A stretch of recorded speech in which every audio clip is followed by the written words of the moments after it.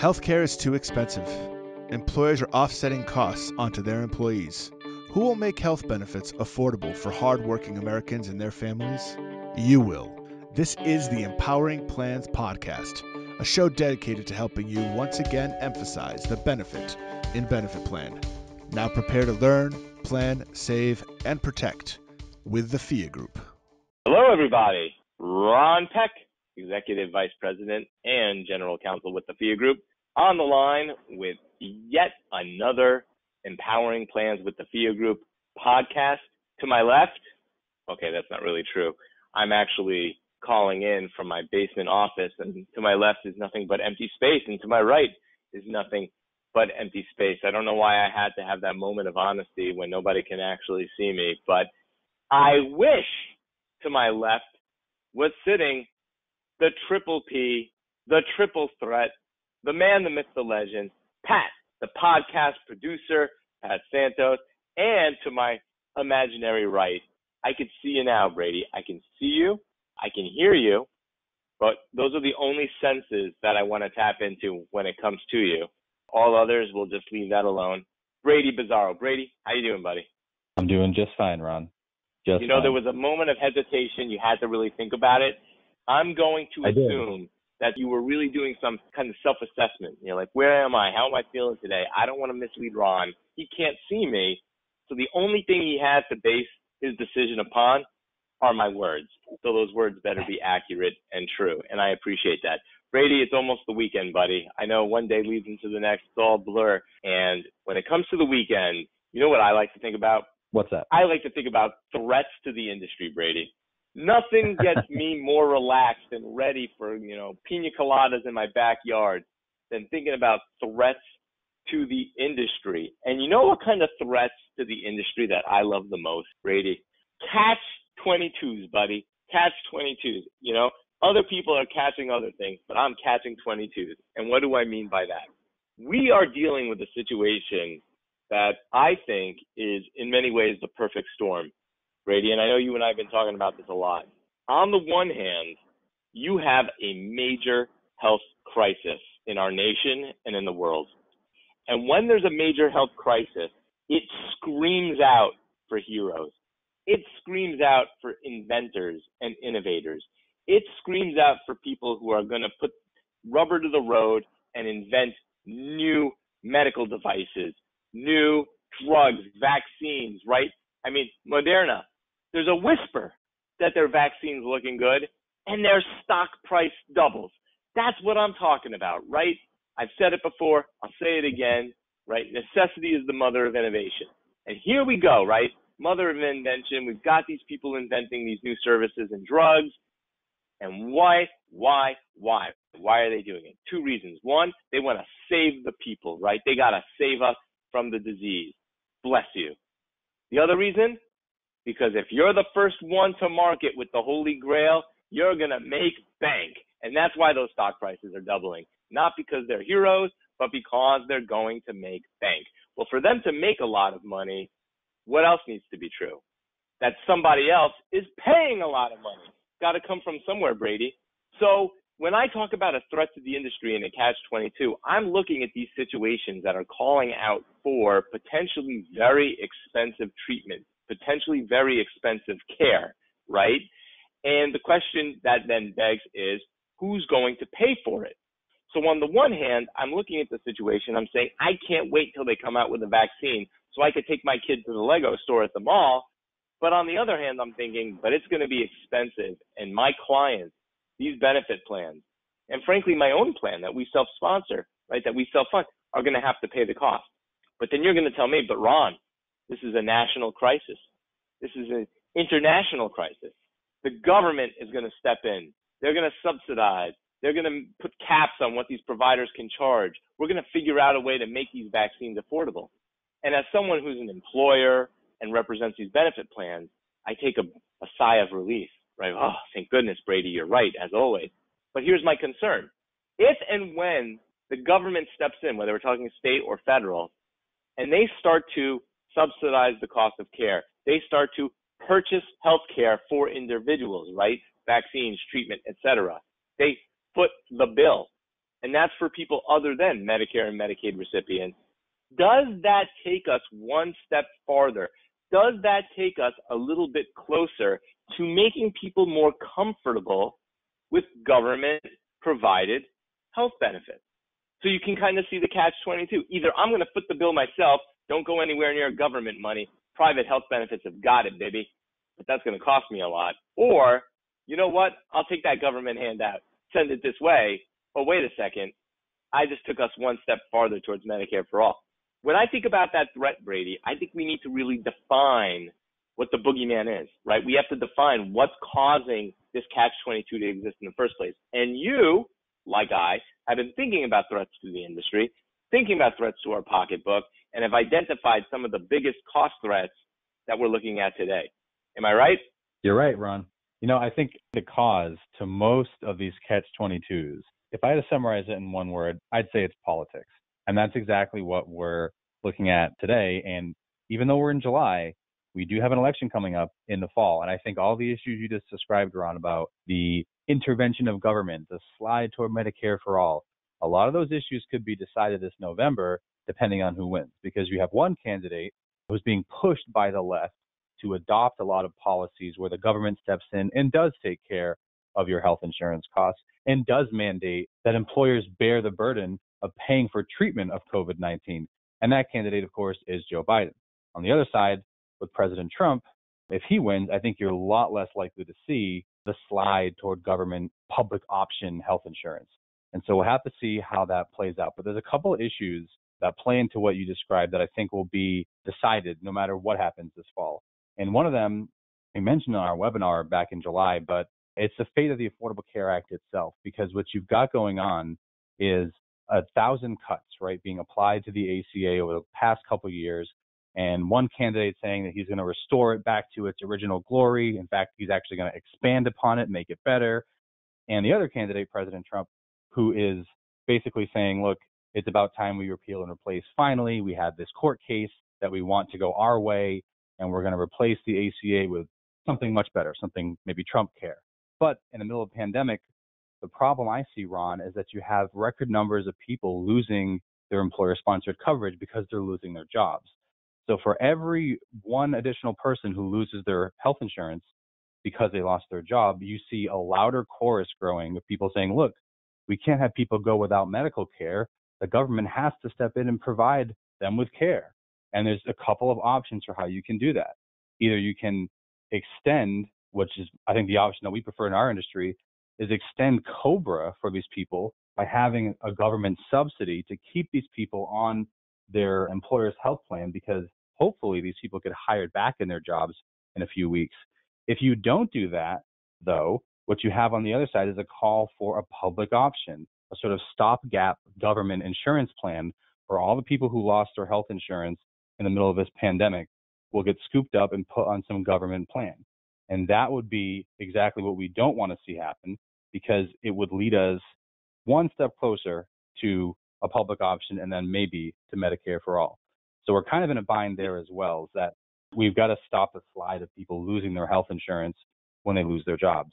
You know, Brady, it's wild because as you're talking, I'm really thinking about, and I won't go into too great detail, but I recently dropped a dish in my kitchen and it hit the ground and it shattered and no amount of Gorilla Glue was going to save that thing. So into the trash it went. That dish was not insured. I don't purchase insurance for my dishes, despite the fact that there's a risk that they're going to be destroyed. At the same time, you know, I do purchase insurance for my automobile because like the dish, if it gets smashed, you know, and it's a loss, I want to be compensated for the value of the loss. And so that naturally begs the question, why am I purchasing insurance for the car, but not for the dish? And the answer is obvious because the cost of the loss on a dish is something I can bear. You know, you're not talking about that much from a monetary standpoint. But an automobile is a much more expensive item and therefore a much greater loss. And so as you're talking about who's going to pay, where am I getting benefits, right? I've lost my job. Do I get extended on Cobra, remain on my plan? Do I join a government plan? Is the government providing benefits? Is the government paying for me to get benefits elsewhere? all of these discussions and all these arguments presume, right, just take for granted that health benefits, health care is more like the car and less like the dish, and that it's expensive. That's a given. And because it's so expensive, you can't afford to go uninsured. And it makes me think if we're going to be spending tax dollars, if we're going to be spending government money to deal with the high cost of healthcare, you could do it in more than one way. You could do what we're talking about, which is to either extend COBRA, so keep them on the private plan, or create a government plan, right? Or extend Medicare for all, whatever, which is using government funds to purchase insurance or provide benefits. But couldn't you take the same money, use it to subsidize and reward, really, the healthcare provider, the ones that are innovative, the ones that are first to market with a vaccine. And in exchange for that reward, you cap the cost of that healthcare from the provider end of the equation so that health benefits yeah. are more affordable from the plan side. I just think it's interesting that we automatically, the knee jerk reaction is the government should buy me insurance or the government should pay for new insurance. So I should have government insurance or private insurance paid by the government so that I could then pay whatever amount the provider charges instead of I could afford private insurance if the government were reducing the cost of that thing insurance pays for. And before I hand it right back over, using my example, if that automobile that I'm currently insuring is worth, let's say, $35,000, if there was a government fund that basically chips in $25,000 for a car for every American man, woman, and child, would I need insurance to cover the other 10,000? Maybe not. Maybe I'd be willing to pay out of pocket. So I do think it's fascinating that instead of asking the government to pay for auto insurance, if instead I had them pay uh, to keep the cost of the car down, I could afford the insurance myself if I even wanted it. So it's just interesting to see that in that equation, payer and payee, we're always focusing on who's going to pay instead of how much are we paying the payee. Yeah. And you know, Ron, you know what plays right into the example you just gave that's playing out right now with coronavirus, and that is the price of this treatment called remdesivir, right? So you mentioned how when the government's providing a fund or money to manufacturers to say come up with a, a vaccine or a treatment, we should be looking for them to put a cap on prices or at least, you know, looking for some concessions on the provider side or the drug manufacturer side. Well, that's not happened so far with this drug treatment for remdesivir, which is at the moment the most promising treatment for COVID-19 because taxpayer dollars were used for funding the research needed to come up with this drug by Gilead Sciences. But unfortunately, when they released the drug, they priced it at $520 per vial or over $3,000 for a five day course of treatment, which is actually pretty high considering how much money they got from the government to come up with the treatment to begin with. It's also much higher than they're charging the government itself, and they're charging every other country in the world a lot less. So here you have an example of a drug manufacturer that is not really, in many people's opinions, stepping up to the plate here and lowering the prices that they should by having received government money. And it kind of plays into a broader point. We made this point in our webinar as well, but I, I want to reiterate here because a lot of our clients, a lot of plans, the top driver of cost for them is drugs. And we've been looking for the federal government to act on drug prices for a long time. We've covered some of the court rulings that have come down about, you know, do manufacturers have to list their prices in TV ads? The answer to that question is no at the moment because the administration doesn't have the authority to do that. But one of the things that the administration did do, which will provide some relief for plans and for others in the industry, was this new rule on copay assistance. And we've talked about this a lot, and we could have really two or three podcasts about this issue. But just basically, many of our clients will know or be familiar with copay accumulator programs, where basically a manufacturer providing an expensive drug gives a patient a coupon that's valued at maybe $500 or could be thousands of dollars depending on the drug. And what tends to happen is the plan is not really aware when the patient is using this copay card or this coupon. And so when the patient cashes out for their, you know, $1000 drug, the entire amount is applied or being applied to the patient's maximum out of pocket, which means that the patient hits their max out of pocket pretty quickly. And then the plan is on the hook for that entire amount of the cost of the drug for the rest of the year. And what the administration has done in the last few months, in the last few weeks actually, this, they finalized this rule, is they're now giving plans the option of whether or not they want to apply that copay amount to a patient's max out of pocket. Because the thinking is that when these manufacturers are offering these very tempting coupons for hundreds or thousands of dollars, they're really steering patients to choose more expensive brand name drugs when they have generics available in many cases. And so this is an example of a small regulatory change that's going to have a big impact on prices because it's going to disincentivize the use of these coupons when there's a generic version of a drug available. And it's going to mean that coupons, as we know, or as many articles written about how manufacturers will artificially inflate the price of their drug and then offer a massive coupon as a way of really gaming the system. And that's an example of I wonder if we can apply that or if the government can apply that when there eventually is a COVID 19 vaccine.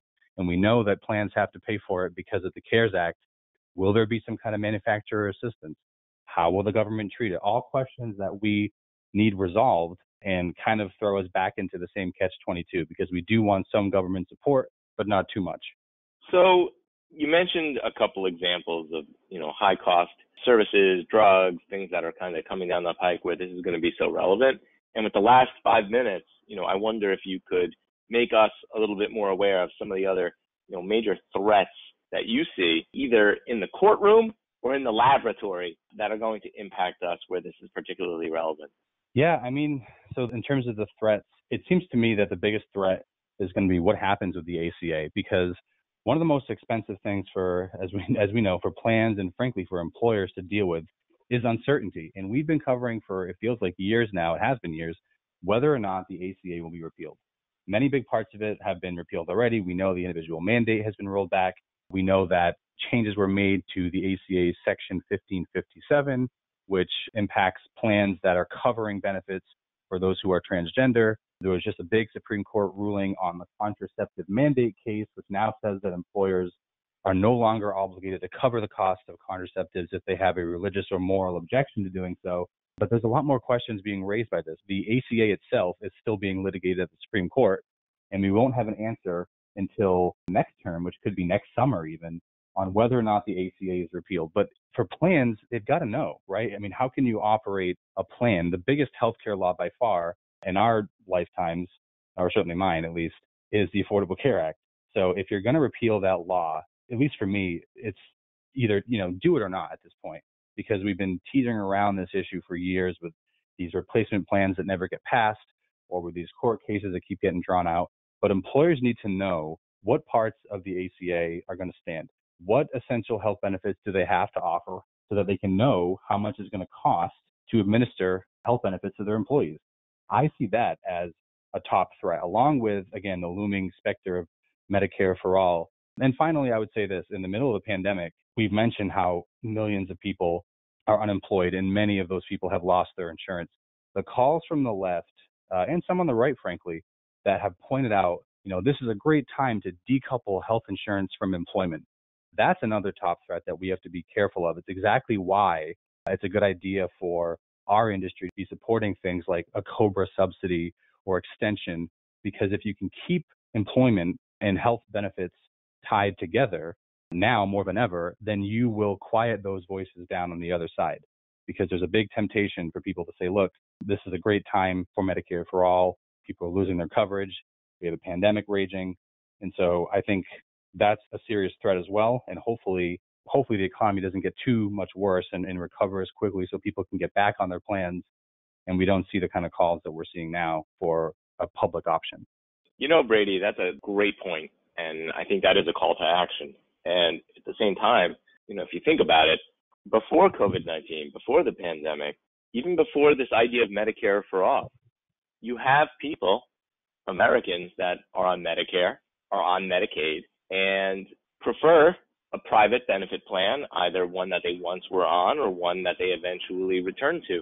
And that kind of, you know, that makes me think, why? Why?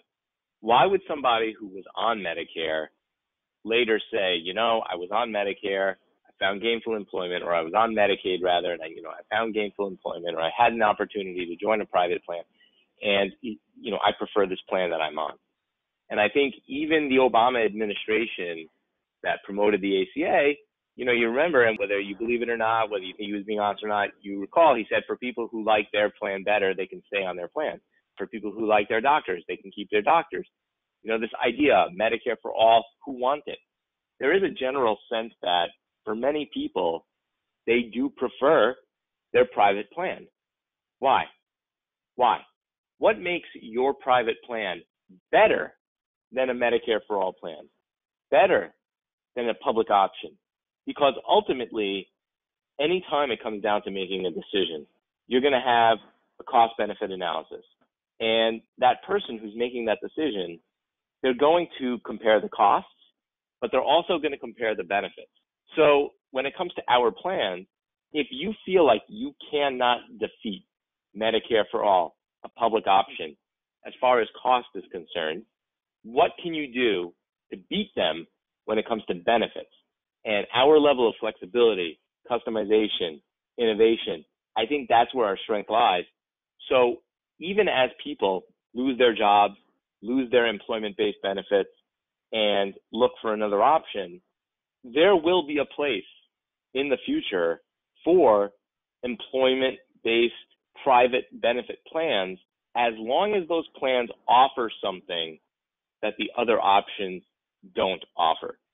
So it's not just about knocking the competition, but increasing the value of your offering as well. And there's a great opportunity there. And I know we're working with our clients to make sure that regardless of whether you're in today or a future where Medicare for all exists, even when Medicare is available to everybody, they'll still pick your plan because you're offering something the government can't. And that's, I think, something we need to keep our eye on. Amen. With that said, guys, I appreciate it. I appreciate you spending your Friday afternoon with me. As always, be well, be safe, take care of each other, and thank you to everybody for listening in to another episode of Empowering Plans with the Phia Group. We look forward to talking to you again soon. Be well, be safe, stay cool. We'll talk to you soon. Thanks so much.